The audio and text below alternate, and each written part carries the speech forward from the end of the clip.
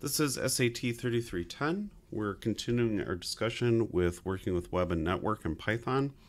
Uh, this is a, a review of a, an example lab that uh, goes and, and downloads a text file, parses, parses out the text file, and then goes and queries each server in the, the text file to get a server type and then ultimately counts and displays those results.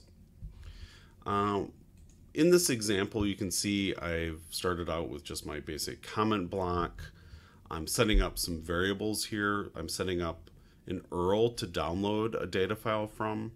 Uh, I have a, a, data file, Fortune 500 companies. It's a tab separated value data, data file.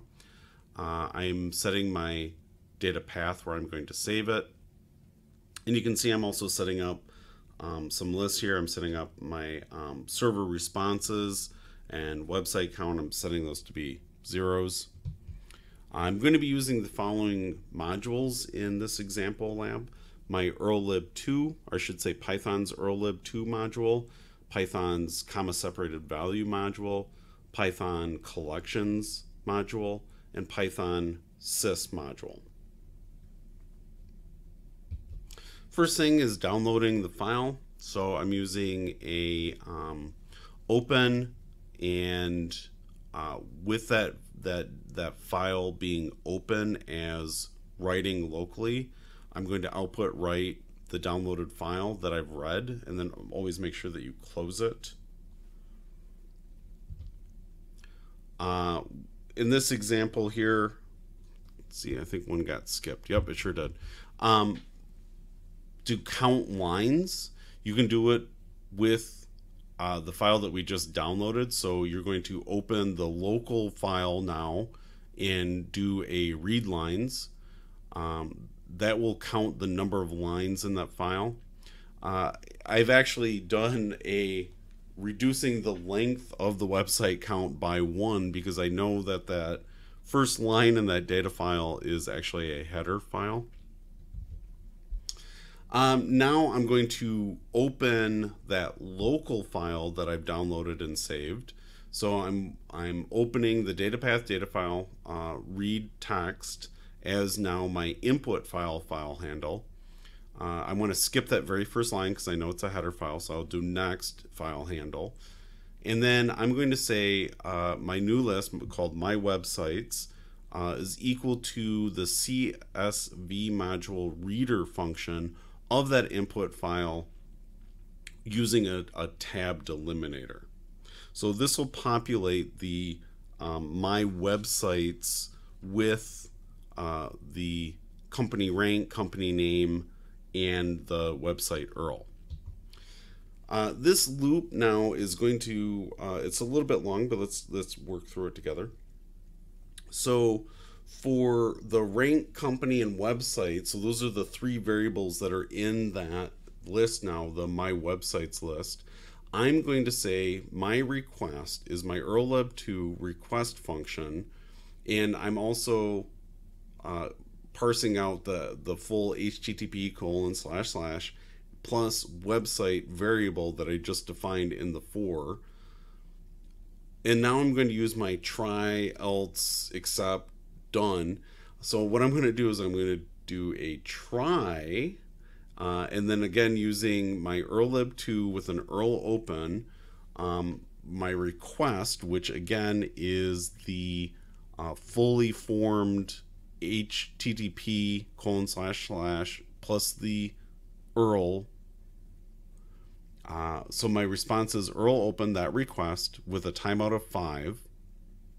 I'm going to append to my server responses, which again was that um, variable, uh, or the, I should say that list that I set up uh, at the beginning of the script.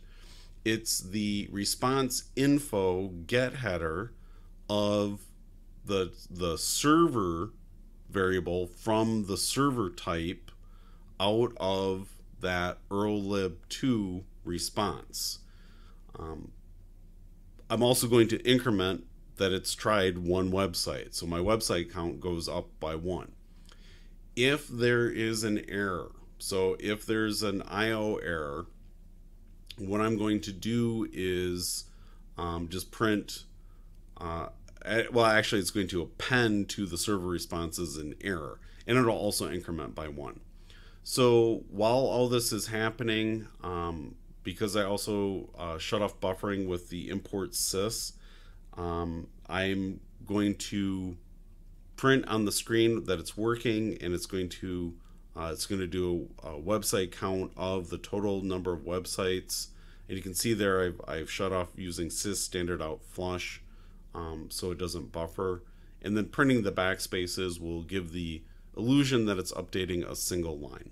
So again this loop is just going through setting up the complete URL setting the request setting a um, response info of the get header and it's appending it to the server responses list.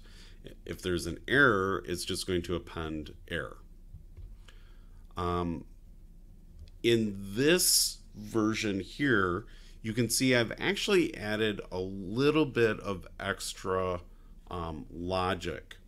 So I'm saying here in this case, if the uh, response info of get header is a null value, I'm actually going to append blank.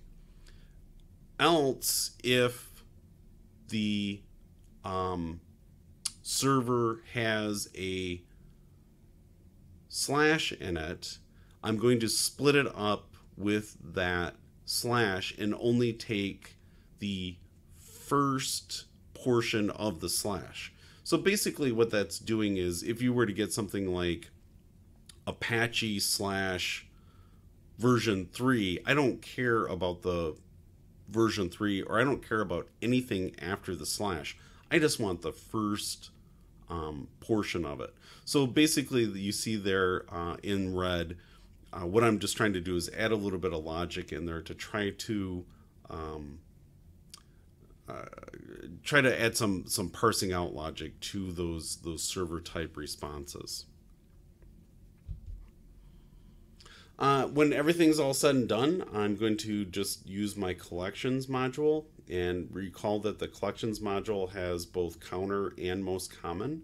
Uh, so in this example, I'm saying um, my counter is just the collections module dot counter of those server responses. So that's the the the the first portion. The second half would be dot most common, and you could you could type this all out on the same line. So your line would now become for servers and frequency in um, collections dot counter my server responses dot most underscore common but that line gets really long so you can see i've just sort of split it up um, so for servers and frequency those two variables in the most common, go ahead and print. Uh, I and I I don't know why I just decided I put the frequency first, a tab, and then the server name.